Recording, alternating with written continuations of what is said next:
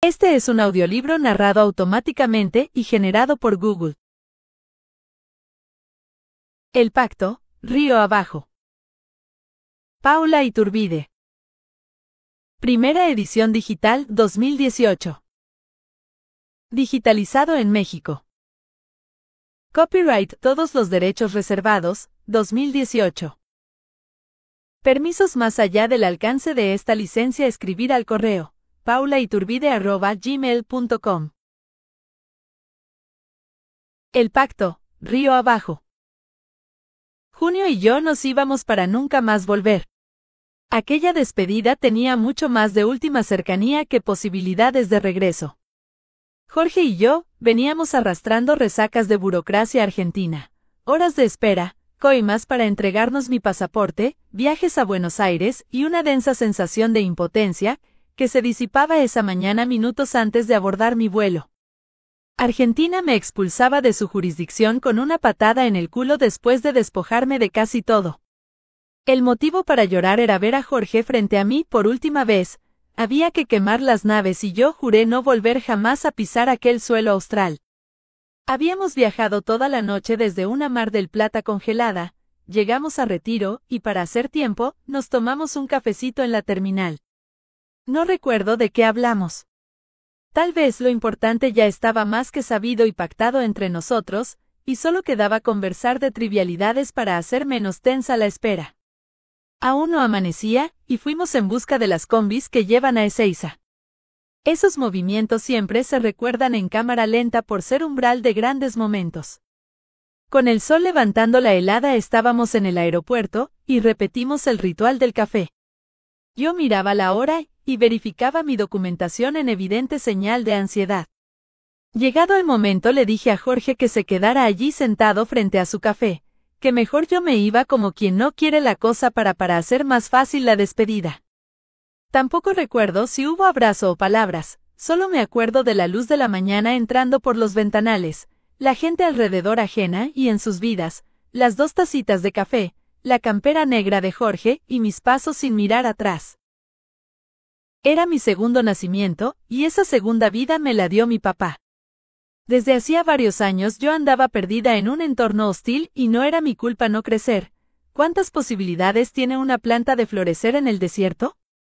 Lo peor fue buscar refugio en un garage sin ventanas y con ratas que según el clima y su ánimo pasaban a cagar mi cama. Y de ese hoyo me sacó Jorge, llevándome a vivir con él.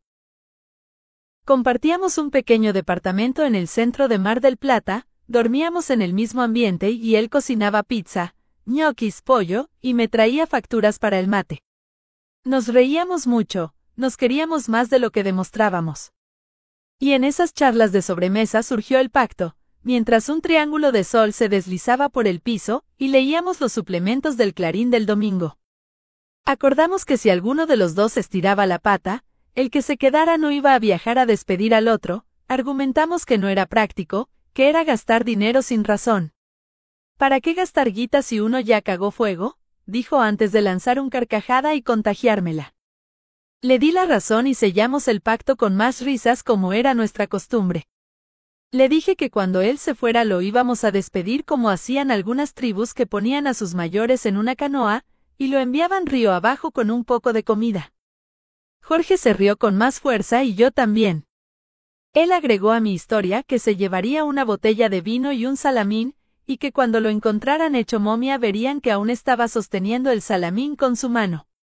Nos reímos hasta las lágrimas porque el salamín llevó a otros divagues, y así se nos fue la tarde. Siete años después se cumplió el pacto y mis lágrimas caen y se van, engrosando el cauce y acompañando a Jorge río abajo. Chuck Moll taquería. A la hora de olvidar lo más difícil es conseguir que se vaya del todo todo aquello que ya se fue. Marwen. Me duele que no seas vos quien vino en tu cuerpo para firmar esta paz necesaria. Éramos dos envases llenos de lágrimas.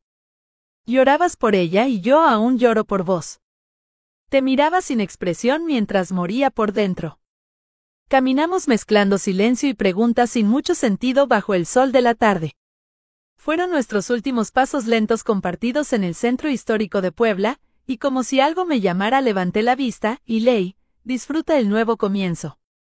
Sonreí porque la vida me hablaba a través de una playera rosa. La vida es más literaria de lo que se cree. Las historias se escriben solas, pensé. Después de cuatro meses sin hablar me escribiste un mensaje que me encontró en el balcón del Palacio de Cortés en Cuernavaca, entre piedras aztecas, hierros que usaban para marcar a fuego a los esclavos y espadas de la conquista. Si lo leo en un libro de Carlos Fuentes podría pensar que fue una jugada literaria, esta de traer a uno de los personajes a semejante escenario histórico. Esto pensaba de regreso a casa en el auto, y cuando recordé a Carlos Fuentes como hace unos renglones atrás, Miré por la ventanilla y leí el nombre de una taquería. Chuck Mall, inevitable asociarlo a Carlos Fuentes. La vida me guiña un ojo otra vez y se sienta conmigo a escribir este relato de amor, de olvido, de miradas sin brillo, de puentes que se cruzan sin mirar atrás, de últimos abrazos y de una despedida, esta vez sí, para siempre. Ese papelito que vale un millón de pesos. Te burlabas de mi pasado bohemio y autodidacta. Y a mí me daba risa, y un poco de tristeza ver que te pagaban una universidad privada para perder seis años de tu vida. Está bien seguir un sueño o una vocación que requiera estudios, pero, ¿quién te asegura que esa carrera que no te gusta te va a dar felicidad? Es matemática simple. ¿Cuántos años tenés que trabajar para recuperar el dinero que se llevó la universidad? ¿No hubiera sido mejor agarrar una mochila y un amor y salir sin rumbo fijo a ser feliz? Hablabas del mundo y no lo conocías. Tocabas de oído y tocabas mal. Estabas acostumbrada a encontrar todas las soluciones con el dinero que te daba el cajero automático, y si tenías que poner un clavo en la pared se te abría un abismo bajo tus pies. Tu visión del mundo estaba adulterada por la comodidad, con la panza llena se filosofa distinto. La diferencia entre tu formación académica y mis días en la calle es la vida misma. Vos medís el éxito en calificaciones de exámenes, yo lo mido en libertad. Por eso cuando termines tus estudios y llegues a tu casa con el diploma enmarcado y lo cuelgues en la pared, respira profundo y sentate a observar ese papelito que te robó seis años de vida y por el que pagaste un millón de pesos. El inquilino ideal. Es digno de análisis el comportamiento de los dueños de inmuebles en alquiler. Ellos se sitúan en la cima de una montaña de exigencias que excede el sentido común y boicotea su propio negocio. Son pocos los dueños que se esmeran en ofrecer una vivienda digna. Basta buscar en Internet las fotos de los departamentos para encontrar una amplia galería de posilgas sin ventilación, con muebles del año de la Inquisición, con una silla de cada pueblo, con la heladera en medio de la sala, y los cables colgando para alcanzar el lejano enchufe. Te juran que el depto es luminoso, pero las fotos que te muestran son de noche, y con esas lamparitas de luz amarilla que deprimen y obligan a un suicidio inmediato. Los precios son irracionales. Los dueños parecen princesas en el balcón esperando a su príncipe azul.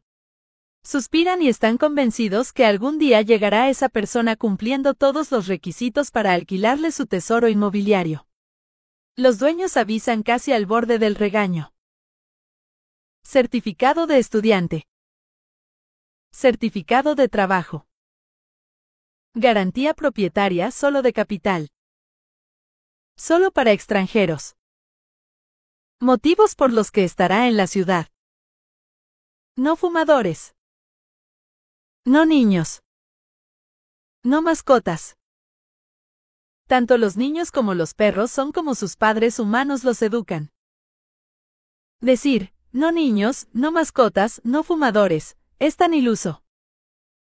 Lo único que falta es que deba contarle al dueño que me levanto en la noche a hacer pis, y esperar su visto bueno porque tal vez con esas dos caminatas nocturnas al baño le podría dañar el piso de parquet. Entiendo que la experiencia indica que si el dueño es permisivo, el inquilino abusa y viceversa. Es muy difícil que dueño agradable e inquilinos responsables y honestos se unan para la feliz renta de un inmueble, pero aferrarse con uñas y dientes a una lista enorme de requisitos inapelables, no parece ser el camino ideal. Por eso a vos, dueño soñador y exigente que me discriminas por mi pequeña perrita educada, te deseo que toque a tu puerta el inquilino de tus sueños, que te deslumbre con su imagen correcta, que te inunde el olfato con su perfume irresistible, que hable pausado y te convenza de que él es tu inquilino ideal, que te pagará puntualmente tu renta, y lo hará con esa sonrisa que ahora te hipnotiza mientras disfrutas por adelantado ese dinero en tu cuenta bancaria. Te deseo que ese espejismo de perfección se desvanezca cuando te llamen los vecinos quejándose de los escándalos de tu nuevo inquilino de las fiestas que hace desde el jueves hasta el domingo llenando la casa de gente, de las colillas de cigarro que tira por la ventana y le caen en el patio a la del primero B, y del olor a podrido que despiden las bolsas de basura amontonadas en el balcón. Te deseo que los pagos se retrasen y debas buscar mil formas de ubicar a tu ocupado inquilino para pedirle tu dinero, y cuando te hayas pasado el día entero en el umbral del edificio esperándolo y por fin lo sorprendas llegando a las dos de la madrugada, él te diga con su sonrisa colgate. Aguántame unos días, flaco, y debas contar hasta diez e irte por donde viniste con las manos vacías. Te deseo que cansado de todo esto decidas recuperar tu patrimonio, y le pidas que deje el departamento lo antes posible, y descubras una mañana que tu inquilino estrella ha decidido embarcarse contigo, en una peregrinación legal en la que la ley lo protege a él, y no a vos, y como resultado tenés a alguien viviendo gratis en tu propiedad, y un juicio en curso que te genera gastos. Cuando pasen los años y estés agotado y en bancarrota lamentándote por haber sido seducido por sonrisas y perfumes y apariencias como una adolescente ingenua, y se te piante un lagrimón en las escalinatas de algún juzgado capitalino, yo pasaré casualmente por allí con mi pequeña perrita educada para coronar tu desgracia haciendo leña del árbol caído. ¿Cómo le va? ¿Cómo le ha ido? Bueno, que tenga buen día. Nos vemos. Y mientras me alejo caminando lento junto a mi familiar perruna pensarás que podrías haber sido más vivo y más flexible y que mi perrita no te hubiera destrozado el departamento, ni te hubiera incumplido los pagos, ni te hubiera usurpado tu inmueble, pero lo hecho, hecho está. El hubiera, no existe y como decía mi abuela, si la mesa tuviera ruedas, sería un carrito. Deshumanizados.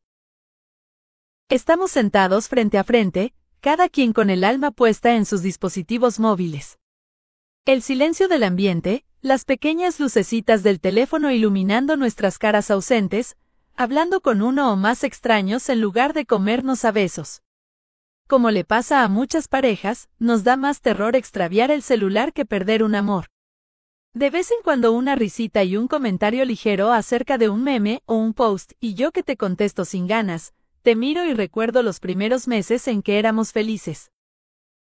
El amor tiene un desgaste inevitable y una lista interminable de motivos que podrían matarlo sin piedad.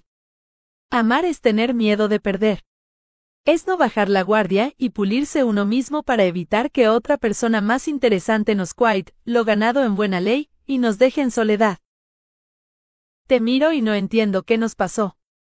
Me hiere tu indiferencia y trato de hablarte como aconsejan las terapeutas en los programas de la mañana, y mi abuela con su tierno consejo. Intento comunicarme para exponer el problema y buscar soluciones de a dos. Nunca pude llegar a vos, siempre pusiste un muro que se derrumbó sobre mí. Y yo que cargo con mala fama te doy la coartada perfecta para escapar de toda responsabilidad en esta historia. Llevo tantos meses en esta lotería de estados de ánimo que ya no sé lo que siento. Somos como un chicle que pisamos al caminar, es tan molesto que no deja avanzar y hacemos lo imposible por quitarlo de nuestro zapato y aunque arrastremos el pie con fuerza en las baldosas desparejas, siempre queda algo de pegajoso y sucio, igual que mi alma que empieza a oler a podrido. Y en el medio de esa inestabilidad descubro tus mentiras y la confianza se rompe para siempre. Miles de recuerdos y situaciones aparecen en mi mente. No hay vuelta atrás, no puedo volver a creer en tu palabra porque me acuerdo de los gestos completos de tu cara al mentir mirándome a los ojos. Duele tu traición y más mi ingenuidad. Y aquí estoy en tu casa, presa de mis pensamientos y conjeturas, volviéndome loca dentro de mi cabeza porque si hablo o levanto la voz se te hace muy fácil juzgarme. Pienso soluciones, como siempre, en solitario. Me siento víctima y pierdo mi dignidad lamentándome por lo que no es, por lo que no sentís. Te observo frente a mí, tan cerca y tan lejos, tan dentro de tus intereses virtuales, y pienso en formas de matarte o arruinarte la vida. Me doy cuenta que esto ya se nos fue de las manos, y es una relación enferma de la que no podemos escapar. Si supieras todas las formas de matarte que pasan por mi mente te asustarías. No creerías de lo que es capaz la imaginación cuando se junta con la rabia, la frustración, la humillación y el desamor. Si pudieras leer mi mente no me estarías sonriendo de lado con esa risita idiota tratando de convencerme que ese video de YouTube es gracioso. Se acabó mi amor cuando se acabó el tuyo. Ahora quiero justicia, si es que en el amor cabe ese término. Ahora quiero que me veas a los ojos y pagues por cada minuto y cada lágrima que te dediqué. Quiero que recuerdes tu expresión de fastidio, tu semblante inconmovible ante mi desesperación, tu sonrisa socarrona mientras yo lloraba por vos. Quiero que sufras con una muerte lenta y consciente con suficiente tiempo para repasar cada capítulo de nuestra historia. Quiero que lo último que vean tus ojos sea mi cara de cuenta saldada. Quiero que sientas como estás muriendo con cada segundo que pasa sin poder aferrarte a nada porque la suerte está echada, y es cuestión de minutos que te vayas para el otro lado. Quiero que te conviertas en nada. Montequeso. Un tren lo dejó en la estación de Montequeso y se alejó sobre vías de escarbadientes. Una plaza, un viejo tanque de agua y el olor característico de los originales semáforos de longaniza. Perfumes de hamburguesa y choripan. Árboles de copas de coliflor. Sendas peatonales de pan lactal. Arquitectura gastronómica. Montequeso, daba la bienvenida a sus visitantes con copetines al paso. Más de un colado estiraba la mano con cara de distraído para hacerse de un canapé y el personal municipal hacía la vista gorda porque, según el dicho, la comida no se le niega a nadie. Decidió borrar su gesto de asombro ante el paisaje urbano de Montequeso y su cordial recibimiento y buscó la Secretaría de Obras Públicas. Mientras esperaba su turno en aquellas oficinas de Gouda, se entretuvo observando los retratos de viejos mandatarios. Todos con sus bigotes tiesos sonriendo en la plaza principal. Una cronología de imágenes en blanco y negro. El pasado observando el presente con ojos congelados y nosotros invadiendo la historia sin permiso del tiempo. Abstraído en pleno ejercicio reflexivo, no vio un maletín apoyado en el piso y tropezó torpemente. El estruendo de la caída acaparó la atención de los municipales y su sonrisa estúpida los invitó a volver a su tarea. Todavía desparramado en la alfombra observó que alguien sonreía mientras le agradecía por la imagen cómica que acababa de eternizar con su cámara fotográfica. Ana. Fotógrafa municipal de 8 a 16 y artista independiente las 24 horas. Alonso Niño. Colocador de lunas, quinta generación en el oficio. El silencio de Ana obligó al desarrollo de una explicación. Entiendo su gesto de asombro, mi querida recién conocida Ana, pero permítame que le cuente cómo funciona esto. Los empleados del Servicio Astronómico de Montequeso han notado que los días son más extensos, a razón de 5 minutos 20 segundos por jornada. Calcule que si esto sigue así, esta ciudad no conocerá la palabra noche. El descanso se haría necesario y quimérico, las plantas se secarían en una semana, en fin, el agobio de las altas temperaturas haría la vida imposible.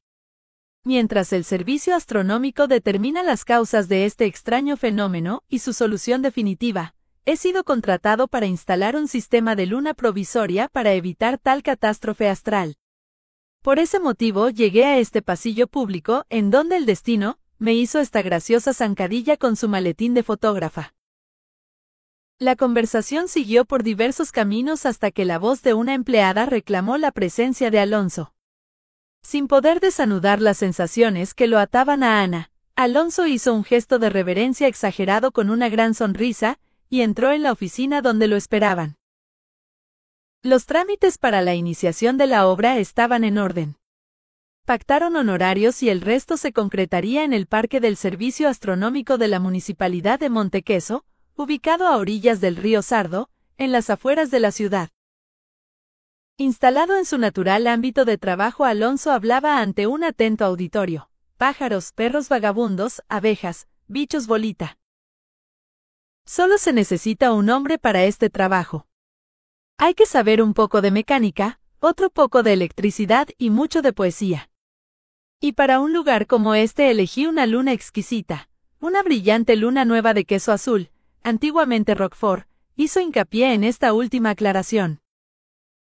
El día de trabajo transcurrió con normalidad, cables pelados, unidos nuevamente, circuitos reparados y controlados, pulido de la una nueva, etc. Alonso esperaba el momento de enroque entre luna y sol, ese traspaso presidencial de cada día. Poco a poco la brillante luna nueva fue ganando el cielo y el excéntrico colocador había cumplido su trabajo. El río Sardo corría con su velocidad sin urgencia, y al ver el reflejo de la luna en sus aguas Alonso dejó escapar un suspiro. Cuánto escenario para tanta soledad, pensó y se sintió vencido por la nostalgia de un viejo amor. Se abandonó al doloroso ritual de recordar canciones y rascarse heridas que todavía duelen. Más tarde, alumbrado por plateados reflejos, se quedó dormido. Al amanecer, dos empleados municipales le hacían señas desde lejos para que se acercara. Alonso permanecía cautivado por la naturaleza de Montequeso, y con la lentitud de no querer abandonar el paisaje, juntó sus cosas y se dejó llevar hasta la ciudad. En la Secretaría de Obras Públicas recibió felicitaciones y dinero. Posó para las fotos que adornarían luego los pasillos de la municipalidad, y cerró su estadía con honores. Ana estaba esperando la finalización del acto para hablar con Alonso Niño. Se acercó a él y le dio un sobre de papel marrón de 24 por 30 centímetros. Alonso la miró con un gesto de intriga, dejando entrever que la nostalgia lo había invadido. Le traje estas fotos de recuerdo, dijo Ana. Las tomé ayer mientras usted colocaba la luna, después de todo es mi trabajo, ¿no? Gracias, contestó Alonso mirando las fotos. Qué curioso, no escuché sus pasos, no me di cuenta de que usted estaba allí, esta vez no tropecé con su maletín, sonrió. No me gustan las fotos preparadas, por eso trato de pasar inadvertida. Pero permítame que le pregunte en qué estaba pensando, su mirada parece perdida en un laberinto. ¡Ay! suspiró Alonso, mi profesión me ha llevado a muchos lugares. He colocado lunas de papel en ciudades de cartón, algunas para que duren apenas media hora, lunas de brillantina para adornar serenatas, lunas de chocolate blanco, lunas de miel, lunas naranjas de calabaza, en fin, he visto cientos de lunas subir al cielo y brillar. Pero ayer, esta enorme luna de queso azul me empujó al recuerdo de otra luna igual pero guardada en el pasado. Imposible volver a contemplarla si no es de a dos. Pero disculpe, no quiero aburrirla con mis pesares, le agradezco muchísimo las fotos. Siga contándome, dicen que alivia contar las penas. Si puede ser, al menos por un momento no duelen tanto. Aquella luna era nueva, empezaba un año, auguraba felicidad, empañaba vidrios, construía castillos, iluminaba nuevos sueños. ¿Qué pasó? Después de unos meses el libro se siguió escribiendo y no hubo lugar para mí en la próxima página. Entonces ese libro se terminó ahí. Dejé mi vida en esas carillas y salí a buscar lunas nuevas buscando el mismo esplendor, la misma majestuosidad. Obviamente no los encontré. Y la luna de ayer, en este lugar, revolvió mis silencios perdidos y me bañó con una luz parecida, por eso quise quedarme ahí permanecer bajo ese abrigo invisible buscando volver a mi vieja luna de mar y año nuevo. Uno tarda menos en subir lunas que en bajarlas y salir ileso. Qué triste lo que me cuenta Alonso. Sí, pero bueno, usted no se ponga triste que esta ciudad es de fantasía y no hay lugar para el dolor, ¿no le parece? ¿O acaso se puede estar afligido bajo este cielo celeste, o caminando sin zapatos sobre pastos de arcoíris? No me haga caso, Ana, en mi ciudad dominan los grises y no estoy acostumbrado al color. Alonso se arregló el traje y caminó las cuatro cuadras que lo llevaron a la estación de tren. Un auto con parlantes anunciaba la inauguración oficial de la nueva luna de Montequeso, y se mezclaba el sonido con el de una avioneta que cumplía la misma función informativa. Las calles tenían magia y Alonso se dejó inundar por aquellas sensaciones por un momento de olvido. Quizás tuviera que volver a este lugar de cuento fantástico, quizás aquí lo están esperando el olvido y el futuro, y nuevos ojos de Pentax. Tal vez no todo está perdido en recuerdos de lunas ajenas o equivocadas. Quizás esas vías de escarbadientes que llevan y traen a los trenes se conviertan en una cadena de aceitunas que lo aten a Montequeso y a la vida otra vez. Noche porteña. Las risas se mezclan con palabras. Se escapan de las bocas grotescas pinchando el humo de cigarrillo instalado bajo el cielo raso. El último tango de la noche parece más triste en aquel tugurio de la calle Esmeralda. En los rincones oscuros, como tejiendo telarañas, se esconden las parejas que no pueden esperar. La magia de una atmósfera propicia para la diversión y el olvido se escapa con cada persona que se va del lugar. Quedan pocos cuerpos desparramados en las mesas, abrazos a putas y a botellas. El bandoneón termina su trabajo y espera inútilmente un aplauso desde el auditorio decadente. En la calle la oscuridad de la madrugada, en esa sala la sombra de personas vacías y el silencio nuevo de la orquesta que completa la trilogía fatal. Es imposible contar los cigarrillos fumados durante la noche. Las colillas están por todas partes, en orgías cenicientas sobre las mesas, aplastadas en el piso sucio, en la boca de algún borracho, como pedazos de vida que se quiere dejar atrás. En una mesa perdida en ese simulacro de infierno, un hombre desaliñado, con restos de decencia diurna, tiene la mirada fija en un punto cualquiera. Rechaza varias veces la oferta de las putas.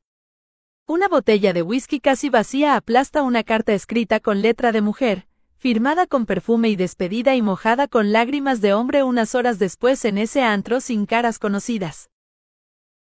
Con una sonrisa alcohólica, el hombre cierra y abre los ojos con la esperanza de despertar en otra realidad.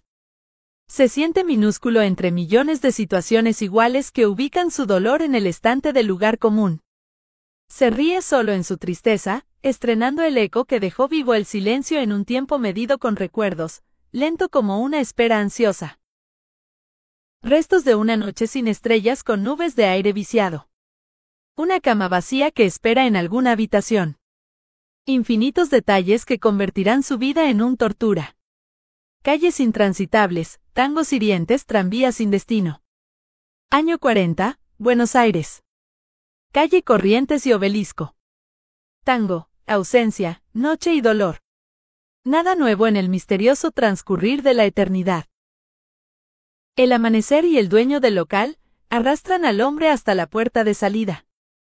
Lo empujan como a una bolsa de basura mientras sonríe, y levanta las cejas para ver nítidamente lo que su borrachera multiplica por dos.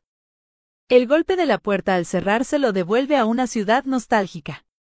El hombre mira su ropa sucia, levanta la cabeza y el ruido de un tranvía le retumba en la conciencia ebria. Movimientos torpes se suceden sin éxito.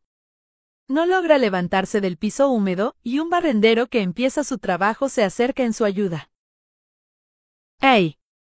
Amigo. Está bien. Se le perdió algo. Con esa lucidez atroz de angustias que solo borra la muerte, el hombre hace un esfuerzo para articular las palabras y responde. El alma perdí. Un vaso de agua. El camino divide el paisaje. Una camioneta negra desgarra el aire más rápido de lo que su carrocería puede soportar. Un teléfono celular interrumpe el silencio de un viaje largo y una voz arranca al hombre de sus pensamientos. La breve conversación anula la urgencia del viaje y la importancia de tener el maletín con tanto dinero sobre el asiento trasero. El sol calienta a través de las ventanillas. Pocas y precarias viviendas aparecen al costado del camino y a lo lejos se ve la entrada al pueblo. Ya no es necesario llegar a tiempo, el dinero no sirve. Los kilómetros se amontonan detrás del vehículo, y en el abismo de una mente desesperada. Cinco lágrimas mojan la camisa azul. Un cigarrillo asoma desde un paquete casi vacío. El hombre lo enciende, y se distrae confiado en la monotonía del camino. Dos perros corriendo cruzan la ruta y la camioneta maniobra para esquivarlos. Muerde el borde del camino y pierde el control dando dos vueltas en el aire. El cuerpo del hombre sale despedido y cae lejos del vehículo. Silencio. Una mujer morena con la cara marcada por los años se acerca, y apoya en el suelo la bolsa de los mandados. Se arrodilla junto al hombre y lo escucha balbucear. La mujer se paraliza ante la impotencia de una vida que no puede salvar. Los vecinos llegan al lugar y más tarde una patrulla estaciona levantando una pequeña nube de polvo. Demasiado tarde, la ambulancia cumple la única función de trasladar el cadáver del hombre. Un chico que pasa en bicicleta encuentra el maletín y se aleja pedaleando con fuerza. La mujer cuenta lo sucedido a los pobladores curiosos y sus palabras transmiten la conmoción y solidaridad de la gente simple. Con la sensación abrumadora que deja la cercanía de la muerte, la mujer se lamenta, pedía agua, se murió ese hombre sin tomar un vaso de agua. Abrazada a Lupita. Pero, ¿qué pasó doña Esther tanto revuelo? No más salí a comprar un poco de perejil, ¿qué pasó? Ay, doña Elvira, ni me diga, que yo estaba cosiendo una camisa de Ricardo y que siento la sirena cada vez más cerca y me asomo, y veo que se paran aquí en el edificio. Pero, ¿qué pasó? Hágala corta, Estercita, que se me va la vida aquí parada. Dicen, no sé, se comenta que fue la chica de la azotea que se quiso matar.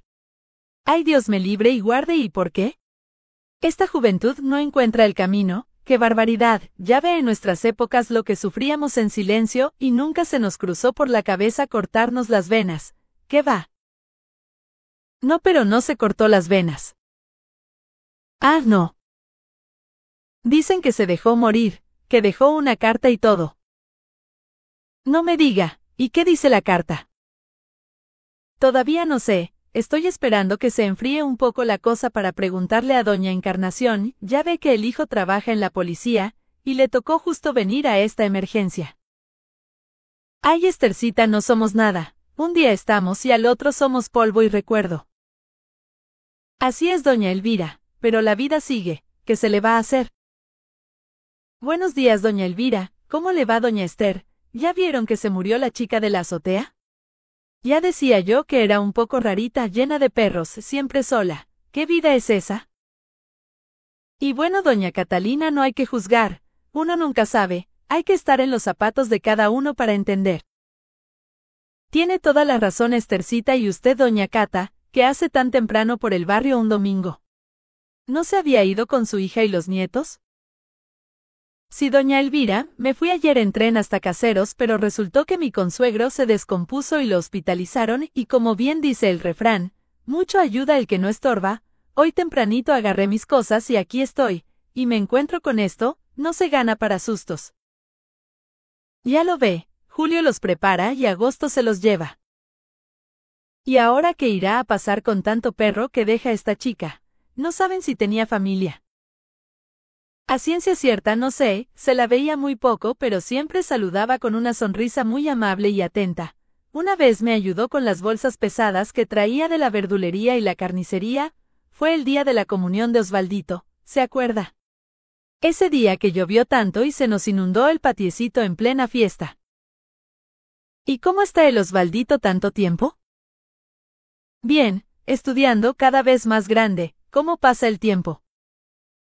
Buenos días señora, soy el oficial Villalpando de la seccional 33. Estamos investigando el suicidio de esta chica. Paula. Sí, Paula. ¿Ustedes vieron algo sospechoso estos días? ¿Hablaron con ella? ¿Conocen a su familia? ¿Amigos? Ay oficial sabemos poco y nada que más quisiéramos que ayudarle, pero la chica no se dejaba ver mucho que digamos, apenas si nos saludaba con una gran sonrisa, Justo de eso estábamos hablando aquí con doña Catalina, y dígame, ¿cómo la encontraron?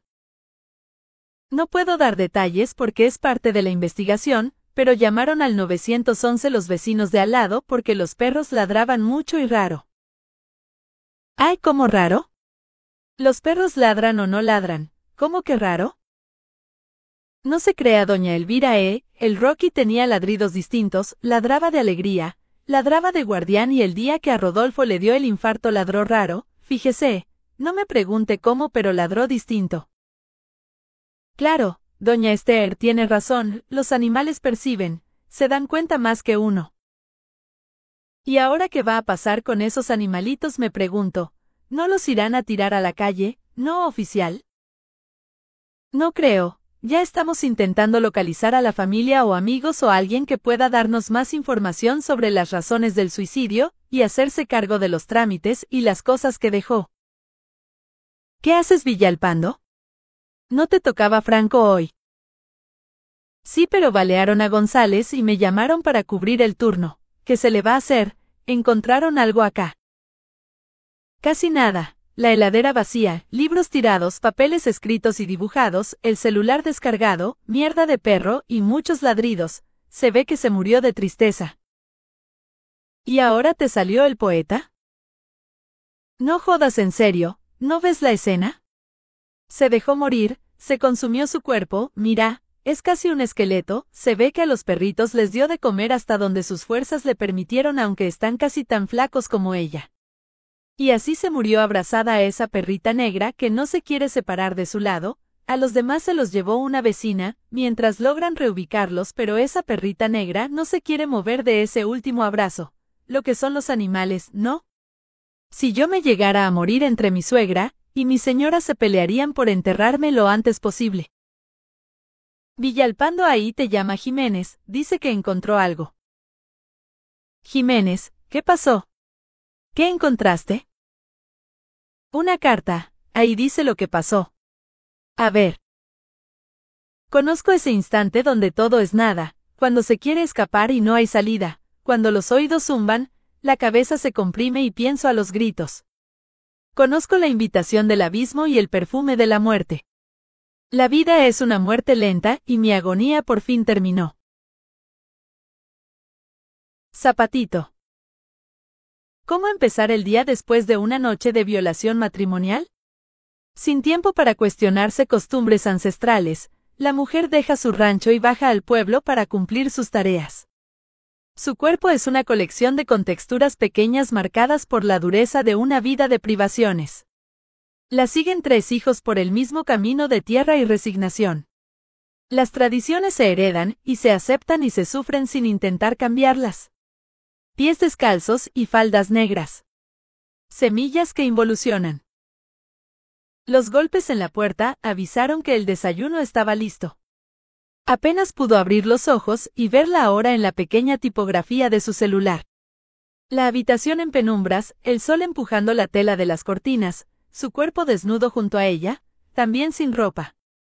El aire del cuarto era una mezcla de silencio y perfumes. Se levantó con movimientos lentos, de huesos y músculos cansados. Juntó la ropa desparramada en la urgencia nocturna de quererse un poco. La miró dormir, aún perdida en los restos de la madrugada. Bostezó. Se asomó por la ventana achicando los ojos, defendiéndose de la brutalidad luminosa del día. Caminó hasta la puerta, y buscó el desayuno que esperaba apoyado en una mesita. El entorno era el mismo de siempre. Cien metros cuadrados de pasos ajenos a interceptar. Una y otra vez, con terquedad, con la persuasión de sus propias miserables apariencias. Un día igual a otro.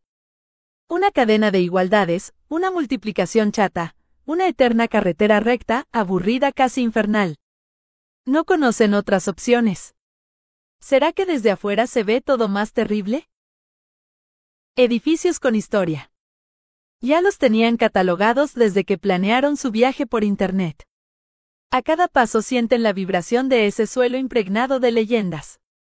No alcanzan ni la cámara ni las miradas para asimilar el paisaje. El silencio de la contemplación los deja solitarios, cada uno busca su ángulo de observación para luego comentar entusiasmado sus impresiones personales. Tres pulseras por diez. Cómprame. Cómprame. La frase constante para quien observa en silencio el rumor del parque. Incansables ofertas, repetidas negaciones, curiosidad de los recién llegados. Ella pasea concentrada por un mapa en blanco y negro. Él tiene la poderosa sensación de ver toda la pobreza de un estado en un zapatito gastado. Observa los pies dentro de ese calzado curtido y cansado, como debe tener alma y el cuerpo, piensa. Y sin embargo son parte del souvenir del turista, son parte de las postales y las fotos para el estante de la oficina. Este juego de todos los días tiene algo de macabro. Esta desigualdad de oportunidades es resultado de una ruleta cósmica sin chance a devolver si no nos convence el regalo. Época de lluvias. El sol tapado por las nubes como un político por sus guardaespaldas. En 10 segundos el parque queda desierto y la gente busca refugios. La lluvia envía clientes a los cafés. Los pies descalzos solo esperan bajo un alero que el aguacero termine. El agua lava la tarde y las luces de la plaza anuncian la noche. Subsistencia convertida en pintoresca realidad de folleto. Las fotos enviadas por e-mail son la novedad del día para los familiares que están en casa. Imágenes que dicen que algo anda mal pero a nadie le importa. Vaivenes de un esqueleto. Como en el final feliz de una película mala, Aceleré el paso con la ansiedad de toda una vida en la garganta. Creo que no escuché más que mi respiración agitada por el desnivel del terreno. El aquelarre de franceses y europeos varios quedó atrás. Ese enjambre de cámaras fotográficas y sombreros de la isla de Gilligan no arruinó mi esperado instante de gloria. Con el suspenso de un inminente salto al vacío frené al borde del barranco y ahí estaba, majestuoso e imperturbable, con la seguridad de sentirse eterno. Sí, ese momento cambió mi vida. Aunque parezca algo trivial, ahora que han pasado algunos años, ese mediodía de verano congeló el tiempo en mi cabeza. El murmullo de esos turistas le robó el misticismo a la escena y me acostumbré por unos minutos a sentir su presencia a mis espaldas. Ningún paisaje se compara con el mar transparente y la arena blanca. Esta continuación exacta y previsible de otoños patagónicos se hace cada vez más difícil de tolerar. No es lo mismo un cielo gris que un cielo celeste sin nubes. No es lo mismo leer bajo la sombra de un árbol que leer frente al hogar a leña. No quiero ser una cebolla a la hora de desnudarme, sacándome una prenda tras otra en un aburrido striptease solitario. Se estremece el cielo con cada trueno se ilumina la calle con un esplendor intermitente y fugaz. Este lugar no es mi lugar y mis dedos construyen con palabras el escenario de una vida mejor. ¿Para qué sirven, si no los libros? Para escaparnos de la realidad pegajosa, de roces repetidos y vacíos insalvables. La humedad del alma pudriéndose adentro sin que a nadie le importe. Un desesperado intento de no necesitar de nadie. La sensación de existencia efímera que acalambra las ganas. Un tamiz con ilusiones desgajadas cayendo en la tierra negra del destino marcado. Palabras, combinación adecuada de letras. Escaleras del pensamiento. La noche acentúa mi tristeza. Una tristeza que flota, no se revela. No quiere irse, se acomoda en cada rincón de este aire viciado. Me mira de reojo y se ríe a carcajadas. Ya me conoce, sabe que trato de matar el dolor con palabras. Y aparece siempre puntual para ser mi única espectadora. No tengo el valor de enfrentarla. Prefiero hacerme la distraída e ignorarla hasta clavarle un puñal de versos, y así sacarla del camino por un rato. Hay cinco cajas en aquel rincón. Muchos libros, tres cuadros de viejos dolores y las fotos que certifican mi paso por este planeta. Dejé un poco de vida en cada cuerpo que se unió al mío. Distintos perfumes, siluetas a media luz, manos que bajaron lunas y escribieron despedidas. Saltos al vacío y valijas en la puerta. Las personas se van y el corazón oxidado nos sigue doliendo. Nos avisa que va a venir otra sonrisa y otros ojos, y que otra vez se va a repetir la historia. Y así, a sabiendas, nos deslizamos vertiginosamente hacia otro pozo que nos va a doler más porque se suma a los anteriores. La imagen de un bostezo. De una tarde sin fecha en un piso 14, de mi abuela y un ataque de bostezos. Llegué a contarle 25 seguidos. Una imagen que quedó en mi memoria. Ahora, lo único que tengo de ella, recuerdos. Palabras e imágenes. Una última imagen de cuerpo vacío por la muerte. Una mañana de trámites apurados y tierra sobre un cajón de madera. Una sensación de nada y de todo. De no saber y de qué esperar. Un presagio del destino común. Una foto de otros tiempos y el calor que todavía siento en ese abrazo de 10 por 15. Se me cae una lágrima que chorrea por dentro. Se resbala y se hace herrumbre de latidos iguales. Busco monedas en un bolsillo roto, descosido por los tirones de la necesidad. No uso billetera, no la necesito. Cuando el dinero me visita me ocupo de no dejarlo salir, pero él insiste en seguir su camino. Yo no me preocupo mucho por buscarlo. Siempre hay un precio para todo. Yo nunca quise pagarlo y así estoy, con la fortuna de mis palabras sin cotización de bolsa. Con hambre muchas veces y la panza llena muchas otras. Alimentando mi bohemia con esfuerzos ajenos. Agradeciendo cada gesto de solidaridad hacia mí. Durmiendo en sábanas de otros, respetando soledades estipuladas y caminando de norte a sur, y de sur a norte tantas veces como sea necesario. Caminando con el mar a un costado. Un mar que no es transparente pero se hace respetar con una gama de colores opacos, de caparazón de tortuga. Un mar que inspiraría poetas pero no pintores. O quizás pintores melancólicos tratando de encerrar, en el lienzo rectangular el abismo de un horizonte. Por eso insisto en volver a ese mar de paraíso tropical, aunque sea para que mis huesos se pudran en ese suelo de paz y belleza infinitas para sentir cómo se pasa de la vida a la muerte con el sonido del viento en las hojas y las olas en la playa. Es raro planificar el final. Yo pienso vivir mucho tiempo más. Y si algún día me encuentro con la huesuda de frente, piquete de ojos y a correr. ¿Es posible lavarse las caricias que tiene el cuerpo? ¿Es posible revivir sensaciones de vértigo, de primera vez con alguien? ¿Es posible volver a sentirse inmortal, pero un inmortal con abolladuras que se notan en la piel. Con menos ganas de apostar, de soñar, de compartir, de aguantar ruidos y vaivenes de otro esqueleto que conviva con nosotros.